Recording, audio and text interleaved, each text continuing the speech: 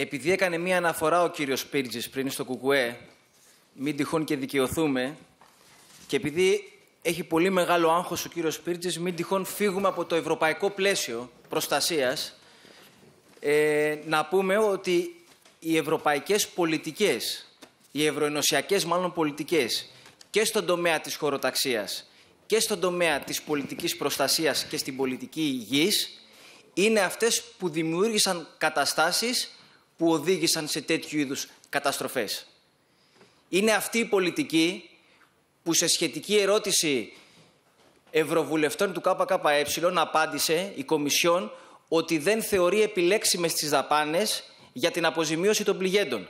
Αυτό είναι το, ευρωπαϊ... το ευρωενωσιακό πλαίσιο για το οποίο αγχώνεται ο κύριος Πίρτζης, μην ξεφύγουμε. Για τα πρακτικά, επειδή έγινε αναφορά.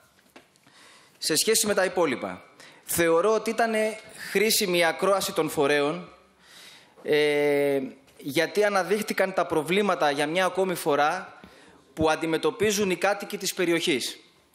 Ε, και όσον αφορά τις αποζημιώσεις, οι οποίες όλο αυτό το διάστημα δόθηκαν με το σταγονόμετρο και όσον αφορά στις άδειες επισκευής και επανακατασκευής και το ζήτημα με τα δασικά και φυσικά με μια σειρά άλλα ζητήματα, για παράδειγμα με τις κατεδαφίσεις, που έχουν γίνει γύρω, γύρω στις 100 κατεδαφίσεις μέχρι σήμερα και μάλιστα αυτές ή έχουν γίνει εθελοντικά εντός εισαγωγικών από ορισμένες κατασκευαστικές εταιρείες, είτε τις έχουν αναλάβει ήδη οι πληγέντες.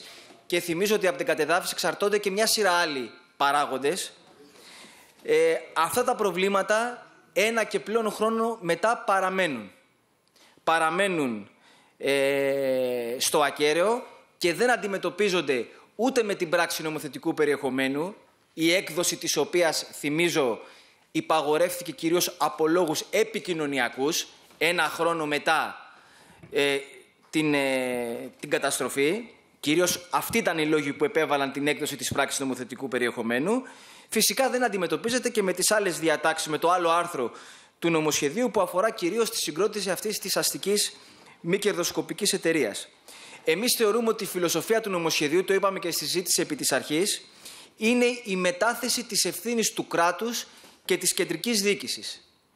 Αφενός σε μια εταιρεία μη κερδοσκοπική προκειμένου να αντιμετωπιστούν τα πολύ σοβαρά προβλήματα που υπάρχουν, αφετέρου όσον αφορά το ειδικό χωρικό σχέδιο, ε, στο τεχνικό επαγγελματικό ε, επιμελητήριο και όλα αυτά στο όνομα της επιτάχυνσης των διαδικασιών. Εμείς θεωρούμε ότι η ταχύτητα στην επίλυση των προβλημάτων των κατοίκων δεν είναι ούτε ήταν ποτέ ζήτημα στενά διαδικαστικό ή τεχνικό. Κατά τη γνώμη μας είναι ζήτημα πολιτικό. Είναι ζήτημα πολιτικής βούλησης και είναι ζήτημα εξασφάλισης των αναγκαίων χρηματοδοτήσεων και κονδυλίων για να αντιμετωπιστούν αυτά ακριβώς τα προβλήματα.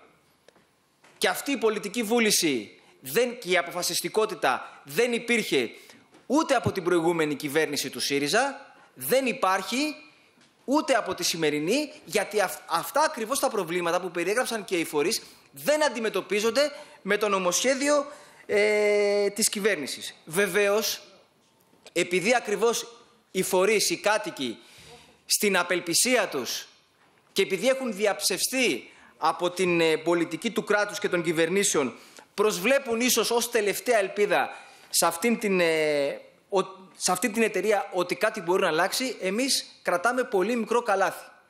Και συμβουλεύουμε να κρατάνε και αυτοί πολύ μικρό καλάθι. Αν και εκφράστηκε και προβληματισμός και ερωτηματικά για το πώς θα λειτουργεί αυτή η εταιρεία. Εμείς δεν πιστεύουμε ότι η συγκρότηση αυτής της εταιρείας θα λύσει αυτά τα προβλήματα. σα ίσα θα τα περιπλέξει ακόμη περισσότερο.